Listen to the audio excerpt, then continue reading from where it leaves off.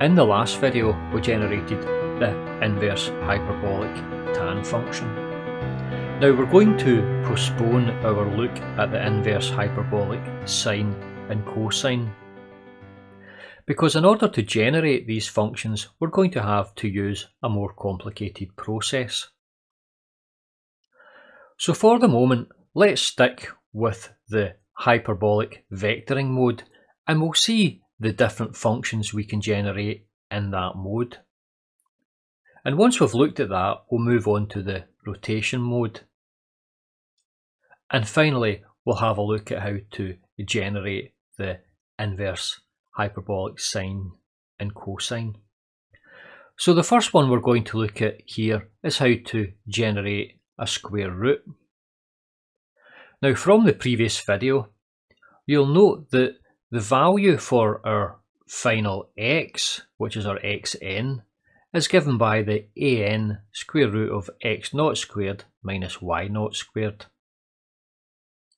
So if you have a look at the previous video and you'll see that the output for xn was given by this function here.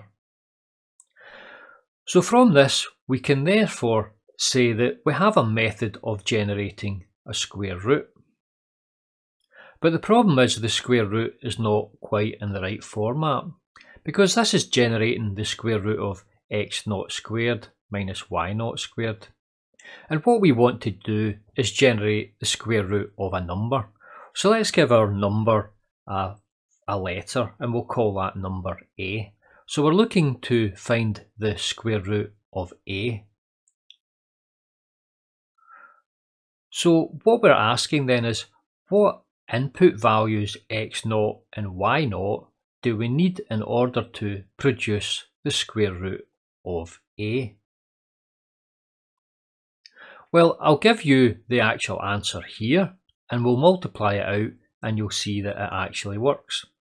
So if we were to replace the value of x naught with the value a plus 1 upon 4 an squared, and remember our an is just our gain factor here, which is approximately equal to 0.82816 for our hyperbolic functions.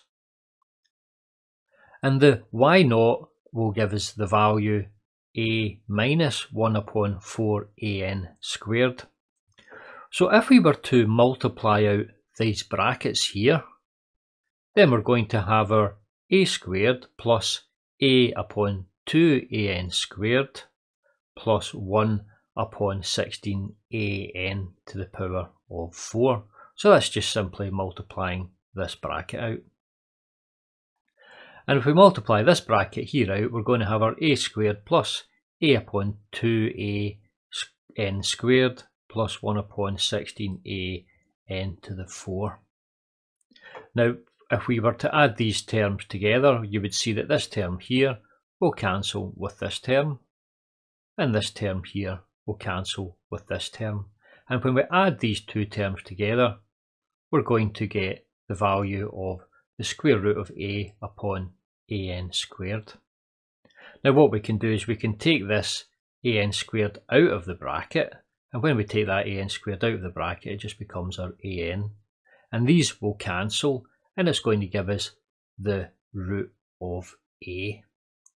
So you can see here, all we're doing is using a bit of basic algebra in order to pick the correct values for our x naught and y naught that ensures that this equation here will give us the root of the value of a. So what we want to do is we want to make sure that the value for our x naught is this term here and the value for our y naught is this term here. So let's go ahead and we'll look and see how we write out the CORDIC algorithm that will give us our square root. So our CORDIC algorithm looks like this.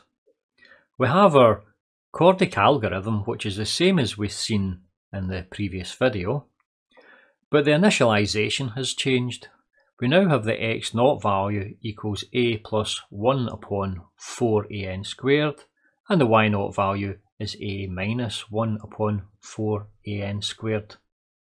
Now you'll note here that there no is no z naught value because we are not interested in the value for our z naught in this particular realisation. So the final value xn will give us the root of a, the yn will give us a value of 0, the zn will actually give us a value of a half of ln a an squared. Now we'll cover this realisation in the next video, so for this video we're not really interested in the value for zn, we're only interested in the value for our xn. And we also got our value for our an, which is the product of our n, the root of 1 minus 2 to the minus 2j. So let's go ahead and we'll look at this in the graphical calculator. So we have our unit circle, we have our parabolic curve. I've written out the algorithm here, and I've also written out the initialization and the final output that we expect. Now let's say for example we wanted to find the square root of 4. Now the square root of 4 is a value 2. But in order to work that out we're going to have to choose a value for x naught and y naught and we're going to have to make x naught equal to the value of 4 plus 1 upon 4an squared and the y naught is going to be 4 minus 1 upon an squared. So let's look at these values. So we're going to have a is equal to 4. The square root of 4 should give us the value of 2. So this should be our final answer. So the value for x naught is going to be 4 plus 1 upon 4 times the an. So the an is approximately 0.82816 and that's all squared and that's equal to 4.3645. So that's our first value, x naught. Now we can work out our second value, y naught, which is 4 minus this value, which is 3.6355. So let's initialize our simulation with these two values. So let's put the value in for x naught, it's 4.3645 and the value for our y naught is 3.6355. So you can see here we start off with this pink line here and this is the point for our initialization which is our x naught and our y naught. Now what we're going to do is we're going to subtract off our angles and as we subtract off our angles, we're going to compare the height here, this yi, and we're going to see whether it's greater than 0 or less than 0. So we'll take off our first angle, which is uh, 26.565 degrees. And what we're interested in is this value here, our xn. And then we take off our next value again, and you can see the yi is still greater than 0 so we continue taking off these angles. So I'll work along and I'll take off all of the angles and you can see as we take off the angles we get this value for our xn tending towards the value of 2 which is the square root of 4.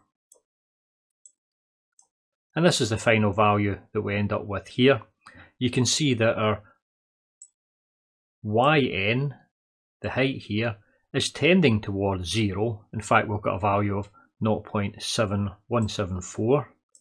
And the value for our xn is tending towards the root of 4, which is a value of 2. And our final value we get is 2.008. So now we have a neat little way of generating the square root of a number. Now in the next video we're going to look at the second part of this which allows us to generate the natural log.